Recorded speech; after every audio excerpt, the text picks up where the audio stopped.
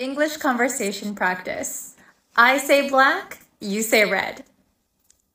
Hi, it's nice to meet you. You too. Where are you from? I'm from San Pedro Laguna. What country is that in? It's in Philippines. Wow. Do you eat any special foods in your country? Yes, we eat adobo, sisig like that. That sounds delicious. How long will you be here? I'll be here for whenever I want. Wow, your English is really good. How long have you been studying? I've been studying for forever. Wonderful. Well, I hope you enjoy your stay.